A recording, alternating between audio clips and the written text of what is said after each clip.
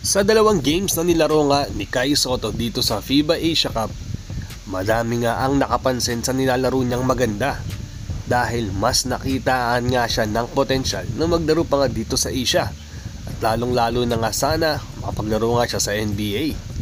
Madami nga ang napukaw sa performance niya. At issue dito kay Jamie Malonzo, ayon sa kuliglig nagpapatulong na nga raw siya dito kay Tulfo para mahanap nga daw lalo sa madaling panahon ang nakaalitan niya at bumugbog daw sa kanya sa isang fast food chain. Yan ang topic natin sa video na ito. Pero bago ang lahat, pakisuportahan ang aking channel sa pag-like at subscribe. I-click ang notification bell button para lagi kayo ma-notify sa mga latest videos ko. Tara at pag-usapan na natin yan. Dahil nga sa magandang nilaro ni Kai Soto dito sa FIBA Asia Cup, napukaw na naman nga ang mga recruiter lalo na sa iba't ibang bansa sa laruan ni Kai Soto dahil bukod nga sa height niyang 7 foot 2, mas nailabas nga ni Kai ang skills niya at alam niya kung saan nga siya pepwesto at kung paano nga dapat gamitin ang katawan niya. Nakaka-score na nga siya dito kahit paano at hindi nga pilit ito. May kita ka sa performance niya dyan dito sa Asian Cup. Dahil nga ito sa tulong nga din ni Coach Tim Cone dahil sa sistema na ginagawa niya. Mistulang naging komportable nga itong si Kai sa nilalaro niya under Coach Tim Tumaas nga ng gusto at nagdoble nga ang tinaas ng stats niya dito sa FIBA Asia Cup compared dito ng World Cup. Abilado nga si Kai Soto na mas komportable nga siya sa nilalaro niya ngayon at napapadali nga sa kanya ang basketball dahil sa dalawang games na nilaro niya dito under coach team.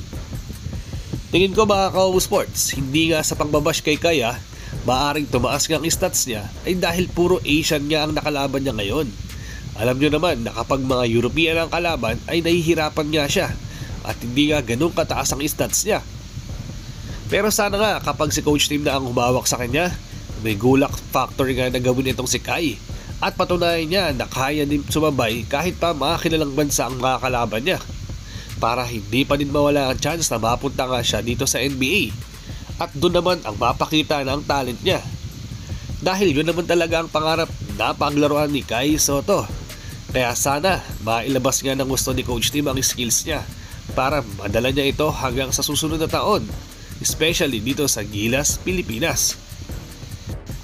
Pero yun nga, alam niyo naman na naimbitahan niya ang Gilas, Pilipinas para makipag-tune up game dito sa mga kilalang European team like Latvia, Lithuania,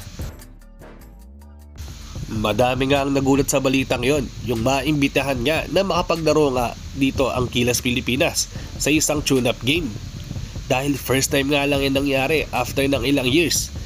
Hindi nga maiwasang makompare na naman ng mga tao dito kay Coach Jot Reyes. Dahil sa ilang taon niyang pamumuno dito sa Gilas ay never nga naimbitahan dito ang Team Philippines para makipaglaro nga kahit tune-up game dito sa mga kilalang bansa na to dito sa Europe. Tapos ngayon, nang si coach team na nga ang humawak, wala pa isang taon, naimbitahan na nga siya para makapaglaro. Malaking opportunity nga ito mga ka-sports dahil mga kilalang bansa nga ang mga kalaban natin. Kahit pa sabihin natin na tune-up game pa rin yan, laking karangalan pa rin at marami nga matututunan itong si coach team for sure sa laban na ito na magaganap. Antay-antay na lang tayo kung kailan niya magaganap nga yung tune-up game na yan dahil sa malamang paghahandaan nga rin yan ng gusto dito ni Coach Team. Lalo na kung sino nga ang paglalaro niya dito sa mga kalaban niya dito sa kilalang bansa na ito. Sa kabilang dako naman tayo mga ka-sports, mabalik tayo sa issue dito kay Jamie Malonzo. Ayon niya sa kuliglig, simula nga nangyari yung gulo na nangyari dito kay Malonzo sa isang fast food chain, up to now ay hindi pa rin umaattend ng practice game itong si Malonzo dito sa Barangay Hinebra. Dahil Nagpapagaling pangaraw ito at dahil nga isa ito sa mga injury niya. Pero may nagsasabi nga nakuligling mga ka-o-sports na isa sa mga dahilan kung bakit hindi pa rin daw siya nakaka-attend ng practice game dito sa Hinebra ay dahil busy nga ito para ipahanap nga daw ang bumugbog nga daw sa kanya dito sa fast food chain. Dahil laking kahihiyan nga raw ang nangyari nito sa kanya. Dahil nga bukod sa basketball player siya, Parang napahiya nga raw talaga ang pagkatao nito ni Malonzo dahil napatumbang nga raw siya sa mga suntok nito. Sa mga hindi nga nakakaalam, isa daw palang MMA fighter ang nakaalitan ni Malonzo at may nagsasabi na binastos daw kasi ni Jamie ang girlfriend to kaya umabot nga sa hindi mangya magandang nangyari.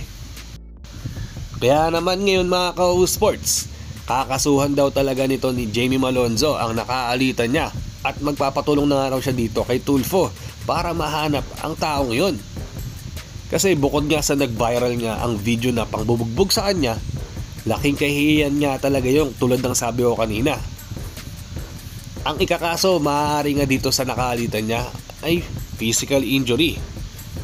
Makikita naman daw sa mukha nga ni Jamie Malonzo ang nangyari dahil may black eye nga siyang nangyari sa mukha niya. Kaya isa nga yun sa dahilan kung bakit hindi pa kakarinakatin ng practice game itong si Malonzo dahil nga nagre-recover pa rin siya dito sa mukha niya. Sana nga mga ka-sports makarecover na agad itong si Jamie dahil ilang linggo na lang ay babalik na nga ulit at maglalaro na nga ang Barangay Hinebra dito sa All Filipino Cup. Sa malamang madami rin ang nag-aabang sa kanya na makapaglaro nga ulit. Kahit nga may issue siyang kinakaharap ngayon, marami pa rin ang sumusuporta at naniniwala sa kakayanan ni Jamie Malonzo.